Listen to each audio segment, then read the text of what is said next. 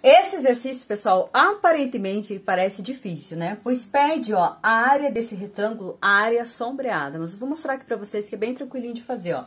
Bom, lembrem-se que a área do retângulo é calculada aí pela base vezes a altura, né? Então, eu vou chamar aqui, ó, uh, de x, a minha base, e a altura eu vou chamar de y. Quando for formado esse retângulo, nós ficamos com dois triângulos retângulos semelhantes, tá? E o que, que quer dizer isso?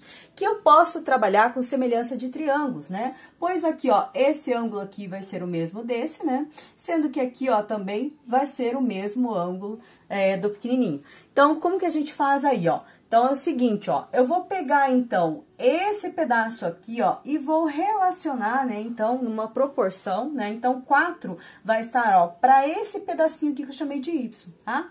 Que vai ser igual, ó, o x, ó, que corresponde, né, a essa medida aqui do triângulo, para essa outra medidinha aqui, que no caso é o 3. Está resolvido o nosso problema. Mas como assim? Olha só, xy, que é a área né, do triângulo, porque nós temos base vezes altura. Então, a área do triângulo é x vezes y, que é o que a gente quer.